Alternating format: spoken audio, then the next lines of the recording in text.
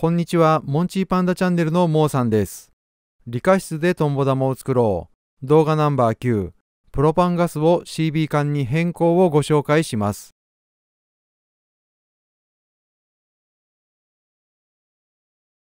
プロパンガスの代わりに CB 缶や OD 缶を使います。では、A からスタートします。ブンゼンバーナープロパンガス用を CB 缶や OD 缶につなぎます。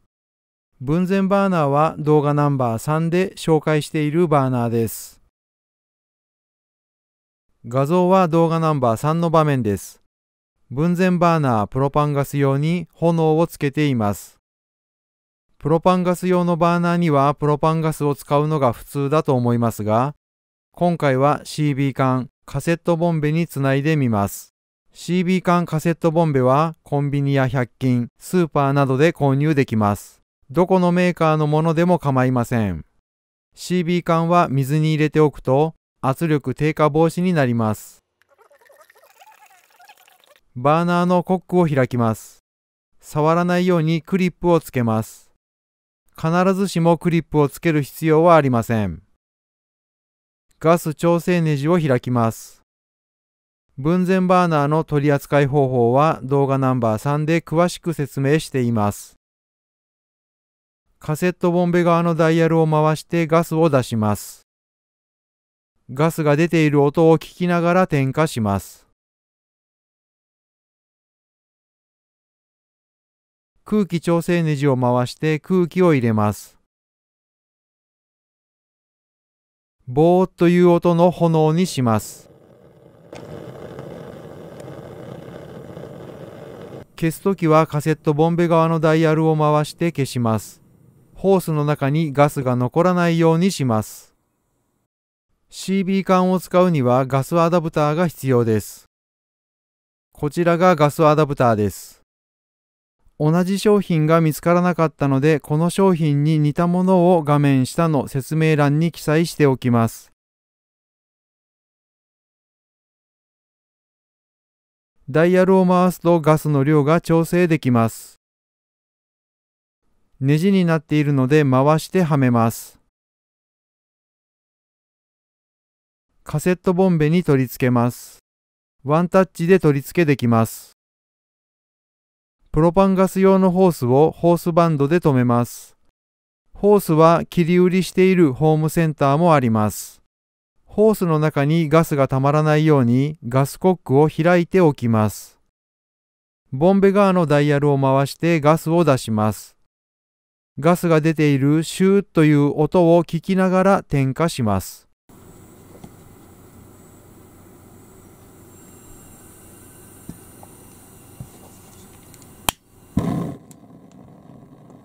消すときはボンベ側のダイヤルを回して消します。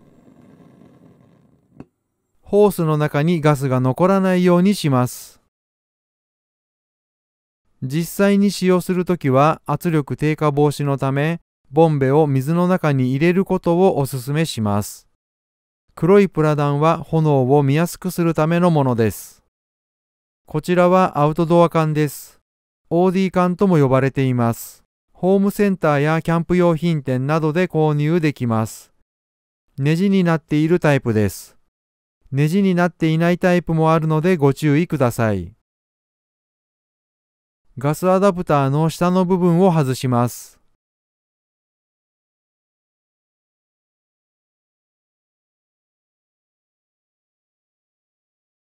回して取り付けます。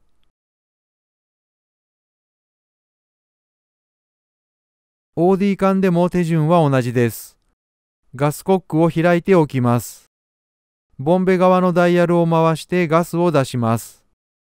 ガスが出ているシューという音を聞きながら点火します。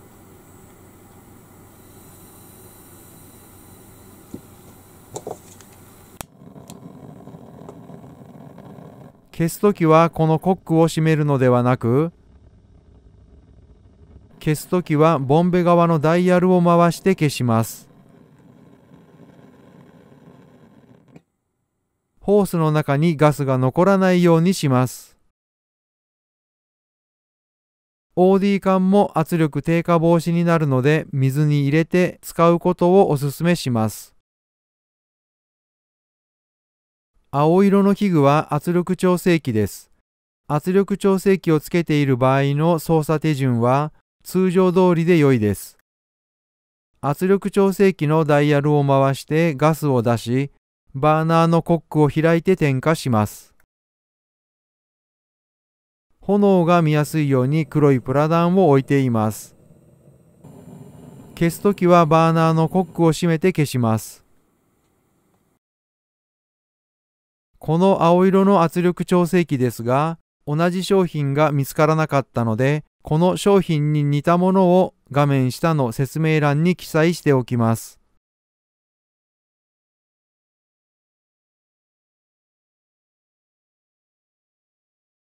改めまして青色の器具は CB 管や OD 管の圧力を調整する器具です。圧力調整器を OD 管に取り付けます。先ほども言いましたが OD 管はネジになっているタイプです。次は圧力調整器を CB 管に取り付けます。CB 管に取り付ける場合はガスアダプターが必要です。ガスアダプターを取り付けています。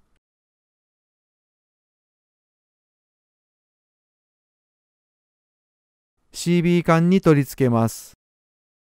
ワンタッチで取り付けできます。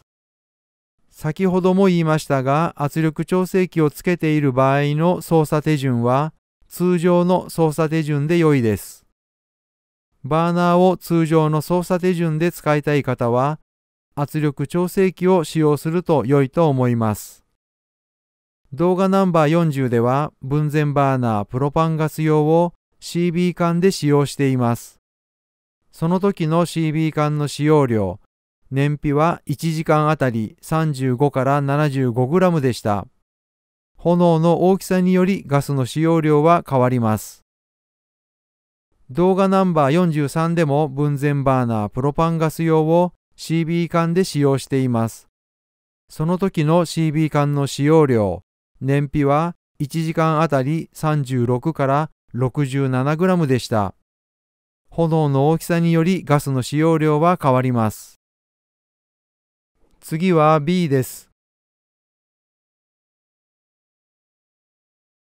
A3 インターナショナルの B10 最新型プロパンガス用を CB 管につなぎます。このバーナーは動画ナンバー6で紹介しています。バケツに水を入れています。段ボールの切れ端を洗濯バサミで挟みます。CB 管がまっすぐになるようにします。ホースをぐりぐり回して安定する位置を探します。安定しました。バーナーのコックを開きます。エアポンプの電源を入れます。ボンベ側のダイヤルを回してガスを出しながら点火します。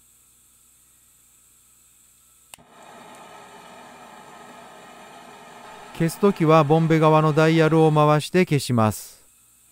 ホースの中にガスが残らないようにします。バーナーが冷えたらエアポンプの電源を切ります。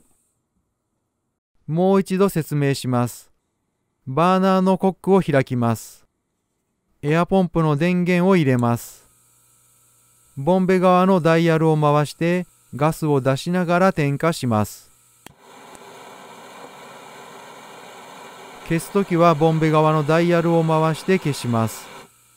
ホースの中にガスが残らないようにします。バーナーが冷えたらエアポンプの電源を切ります。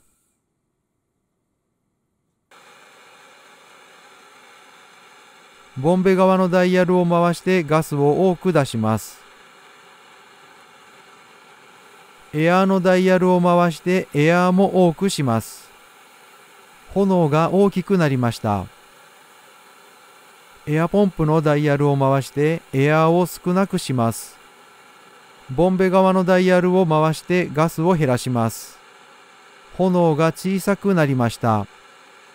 見た目には小さい炎ですが、火力は結構あるので、小さい炎で作業することをお勧めします。現在集中塩バーナーをお使いの方で、使いにくいと感じている方は、ぜひ小さい炎を試してみてください。小さい炎だと小さいものしか作れないと思われがちですが、小さい炎でも結構大きなものは作れます。後ほどお見せします。消すときはボンベ側のダイヤルを回して消します。ホースの中にガスが残らないようにします。バーナーが冷えたらエアポンプの電源を切ります。動画ナンバー121では B10 最新型バーナープロパンガス用を CB 缶で使用しています。その時の CB 缶の使用量、燃費は1時間あたり63から 72g でした。こちらが動画ナンバー121で作ったものです。小さい炎でも結構大きなものが十分作れます。先ほども言いましたが、集中塩バーナーが使いづらいと感じている方は、ぜひ小さい炎で作業してみてください。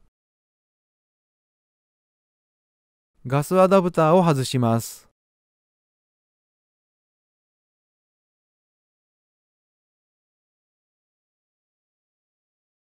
こちらのガスアダプターの商品ページは画面下の説明欄に記載しておきます。このガスアダプターは CB 管を3本つなぐことができます。真ん中のキャップを外します。先ほどのオレンジ色のアダプターをつなぎます。ネジになっているので回してつけます。CB 管を3本取り付けることができます。1本の取り付け、2本の取り付けでも使用することはできます。この時は3本取り付けました。水の中に入れます。点火の手順は同じです。バーナーのコックを開きます。エアポンプの電源を入れます。ボンベ側のダイヤルを回してガスを出しながら点火します。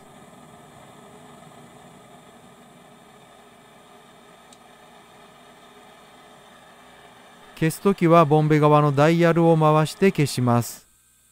ホースの中にガスが残らないようにします。バーナーが冷えたらエアポンプの電源を切ります。3本のボンベの減り方ですが、3本同時に減っていきます。2本つないでいる場合は2本同時に減っていきます。次は C です。A3 インターナショナルの B8 プロパンガス用を CB 管につなぎます。このバーナーは動画ナンバー6で紹介しています。バーナーを A3 インターナショナルの B10 最新型から B8 に変えます。B8 は柔らかい炎の拡散塩タイプです。点火消火の手順は先ほどの B10 バーナーと同じです。バーナーのコックを開きます。エアポンプの電源を入れます。ボンベ側のダイヤルを回してガスを出しながら点火します。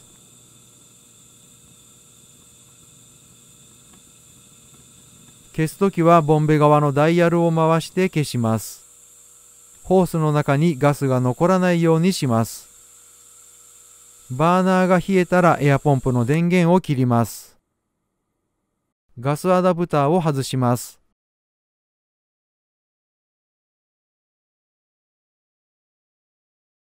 CB 管1本用のガスアダプターを取り付けます。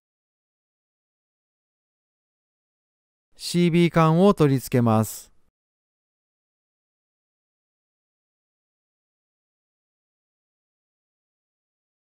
点火方法は同じです。バーナーのコックを開き、エアポンプの電源を入れて、ボンベ側のダイヤルを回してガスを出しながら点火します。消すときはボンベ側のダイヤルを回して消します。ホースの中にガスが残らないようにします。バーナーが冷えたら電源を切ります。動画ナンバー130の A と B では B8 バーナープロパンガス用を CB 缶で使用しています。その時の CB 缶の使用量、燃費は1時間あたり A が 105g、B が 145g でした。炎の調整で燃費が変わります。次は D です。TB03 プロパンガス用を CB 缶につなぎます。このバーナーは動画ナンバー8で紹介しています。プロパンガス用のバーナーですが、今回は CB 缶につないでみます。TB03 バーナーは現在販売されていませんが、中古市場ではまだまだ見かけます。水の中の CB 缶をまっすぐにします。ホースをぐりぐり回して安定する位置を探します。段ボールの切れ端と洗濯バサミを使っています。ガスのダイヤルを開きます。エアポンプの電源を入れます。ボンベ側のダイヤルを回してガスを出しながら点火します。このバーナーも小さい炎での作業をおすすめします。消すときはボンベ側のダイヤルを回して消します。ホースの中にガスが残らないようにします。バーナーが冷えたらエアポンプの電源を切ります。もう一度説明します。ガスのダイヤルを開きます。エアポンプの電源を入れます。ボンベ側のダイヤルを回してガスを出しながら点火します。ボンベ側のダイヤルをさらに回してガスの量を増やします。エアーのダイヤルを回してエアーの量も増やします。炎が大きくなりました。炎を小さくします。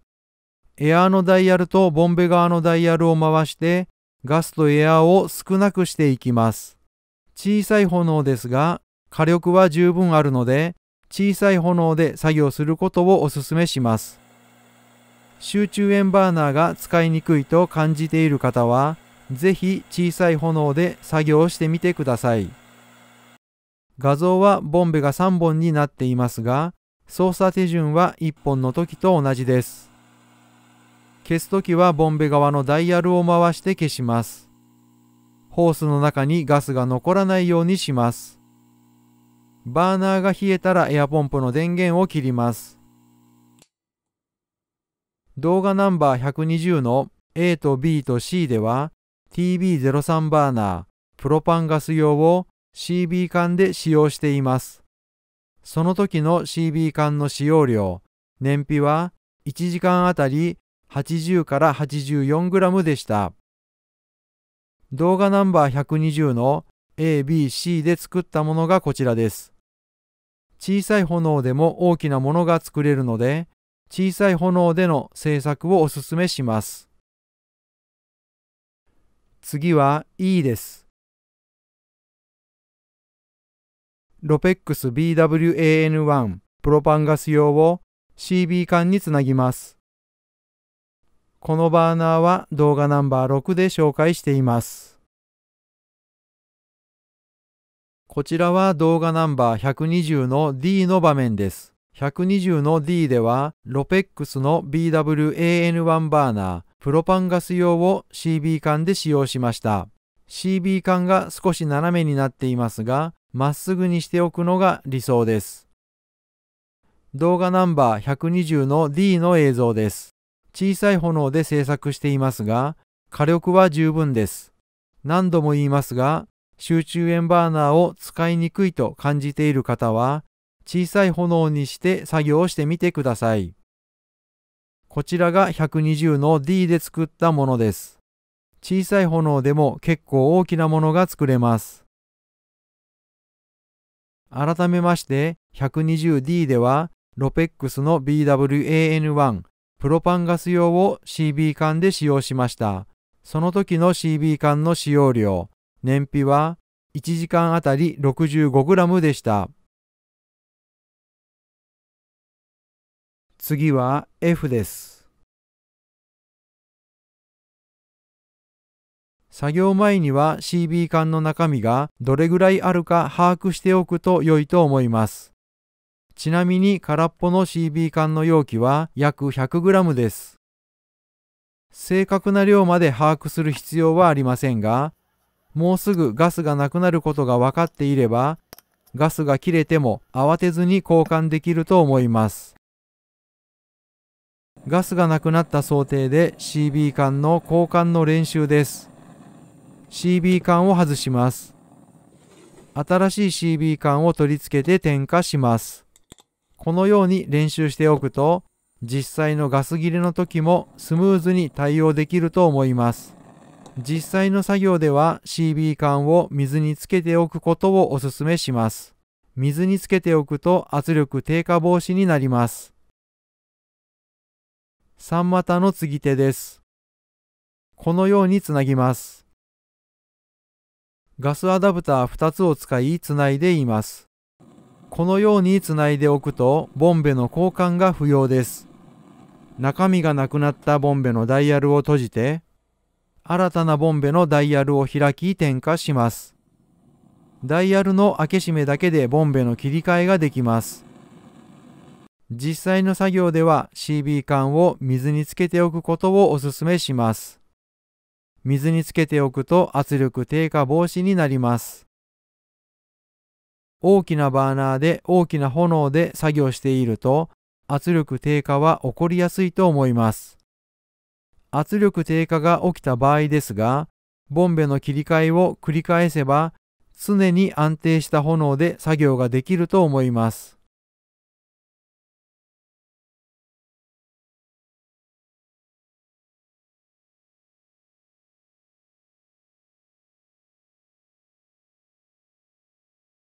さらにボンベを増やせば、長時間安定した炎を確保できると思います。作業の時の炎の大きさですが、小さな炎を基本にして、必要な時だけ大きな炎にするのが良いと思います。小さな炎を基本にしておけば、圧力低下の防止にもなりますし、ガスの消費も少なくできます。実際の作業ではボンベを水に入れてください。こちらもガスがなくなった時を想定して CB 缶の交換の練習です。CB 缶を外します。新しい CB 缶を取り付けて点火します。こちらも実際の作業では CB 缶を水につけておくことをお勧めします。圧力調整器が2つあればこのようにつなぐこともできます。CB 缶は水につけておくことをお勧めします。こちらもガスがなくなった想定で CB 缶の交換の練習です。CB 缶が3本つなげるアダプターですが、1本だけつないでいます。CB 缶を外します。新しい CB 缶を取り付けて点火します。CB 缶が2本ついた状態です。CB 缶を外します。新しい CB 缶を取り付けて点火します。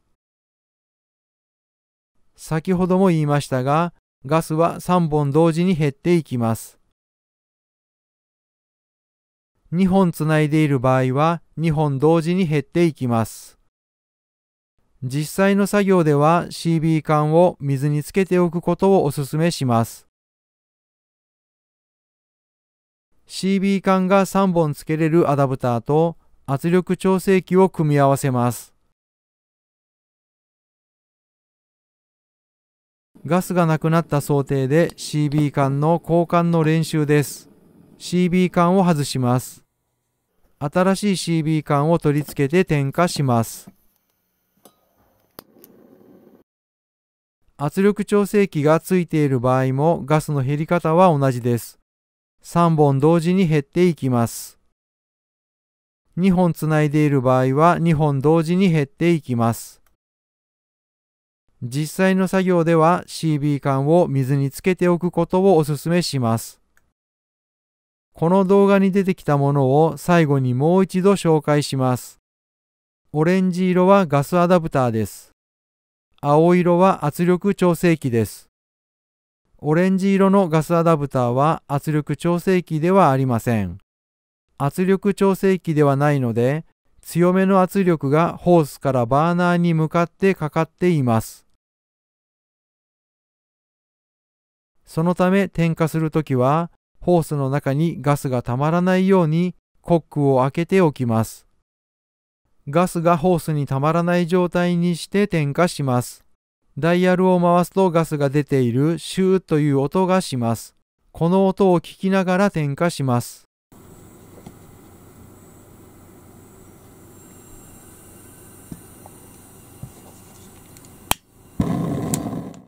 シューという音が聞こえたでしょうか？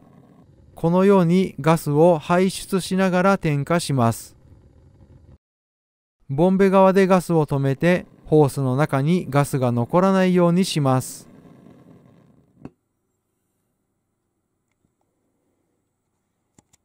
改めましてこちらは圧力調整器です。圧力調整器を取り付けた場合は特に操作手順を気にする必要はありません。こちらは CB 管が3本つなげるアダプターです。オレンジ色のアダプターをつなげて使います。もしくは圧力調整器をつなげて使います。今回の動画はプロパンガス用のバーナーを CB 管で使う方法について説明させていただきました。これで動画ナンバー9、プロパンガスを CB 管に変更を終わります。理科室でトンボ玉を作ろう。モンチーパンダチャンネルのモーさんがお送りしました。ではまたお会いしましょう。